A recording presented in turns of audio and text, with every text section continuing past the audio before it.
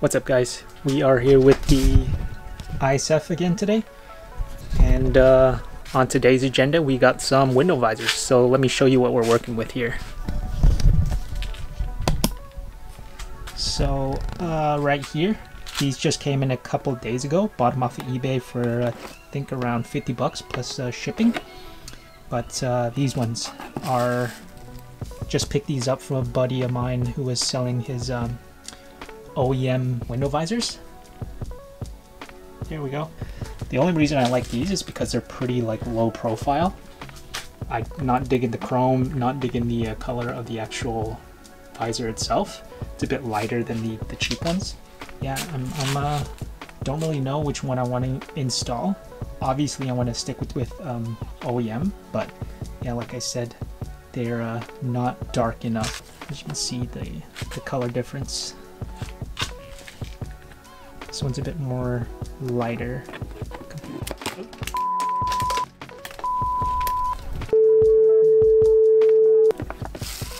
But yeah, uh, they're pretty scratched up. I'm not too uh, worried about it. I can just hit it with some uh, plastics and then hopefully that will remove some of the scratches. I'm gonna get started uh, removing the existing double-sided tape and then I will give them a nice little polish and see if it removes some of those scratches. Still kind of undecided on which one I want to uh, install. But yeah, we'll get started uh, removing this old double-sided tape and then polish them up a bit.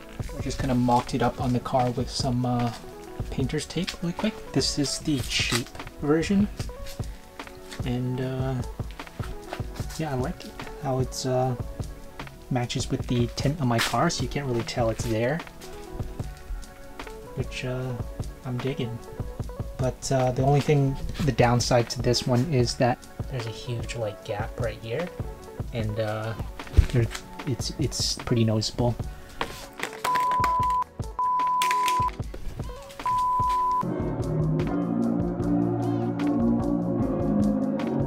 So yeah, this is the uh, the front and the back like OEM window visors, just kind of test fitted on the car. And uh, yeah, looks pretty decent, I guess. But uh, still, I think the the cheaper ones, it's uh, the fact that they match the the, the tint on the windows.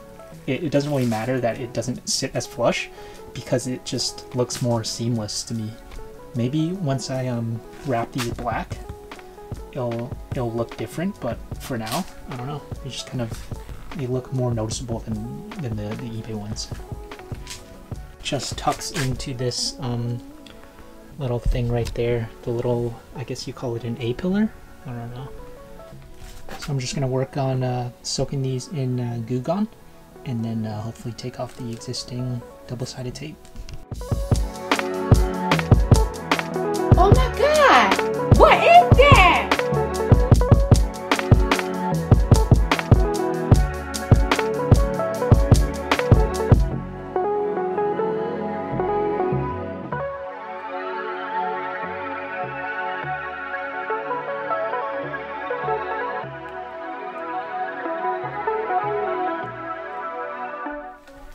So, uh, just a quick update. It took me about like two, three hours to uh, remove um, the old double-sided tape, but most of it is gone.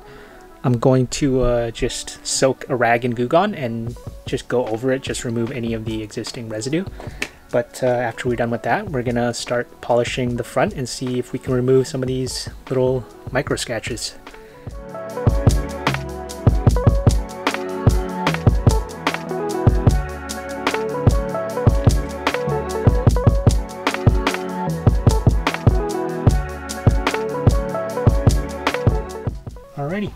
Most of the uh, residue is gone. There's uh, still uh, just a little bit, but eh, I'm not too worried about it.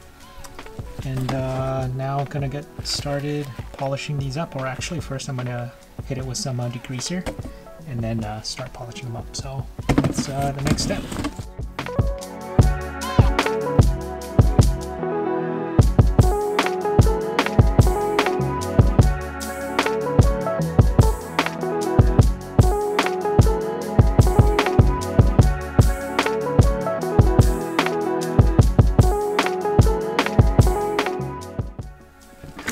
Alrighty, um, hit it with some alcohol as well and uh, rubbed it off and time to hit it with some polish and see how well she cleans up.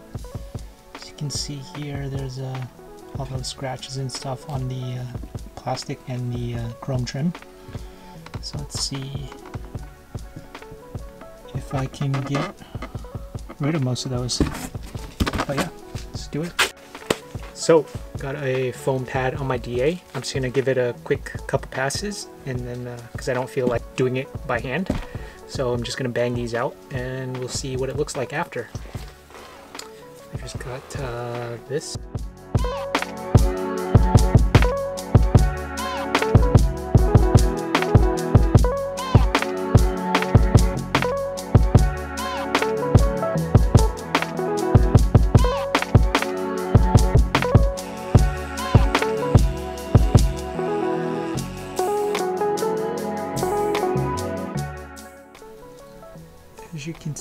It uh, didn't do too much. I think it's because the the pad is too uh, light. I might need a heavier cutting pad.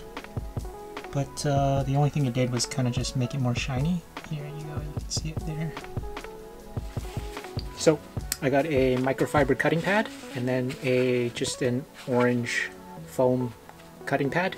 And hopefully it's a bit more aggressive than the, the yellow one but uh, I'm just gonna test um, both on two separate ones, see which one's better, and then go with that one. It's actually not that um, much of a difference, but this one on the right over here is the microfiber cutting pad, and then the one on the left is um, the orange cutting pad. The differences are pretty subtle, but the uh, microfiber cutting pad just uh, finished a little bit better than the, the orange cutting pad. Alright, there we go. See.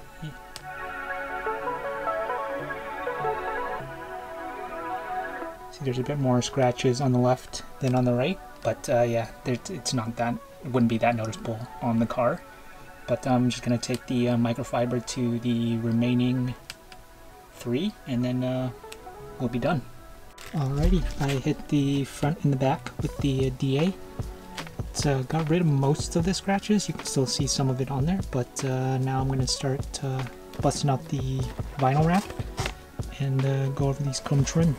So unfortunately, we uh, don't have enough length on the wrap to wrap it in one piece. The short ones I can wrap in one piece, but the long ones, the front visors, yeah, I'm probably gonna have to do those in two pieces. Hopefully they won't be as noticeable. Here they are on the car.